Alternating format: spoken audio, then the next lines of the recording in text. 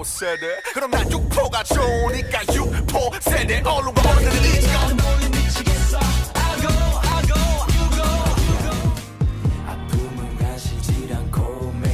넘어가는 girl what did you do yesterday 고민 척하지 앉았어 생각했어 We'll start off with the state of the relationship. Pretty damn good. So when they spoke in Auckland, they both agreed they have a lot in common domestically and a lot we can do around the world in terms of building, so defending the rules-based framework and reinforcing that to the advantage of both of our countries.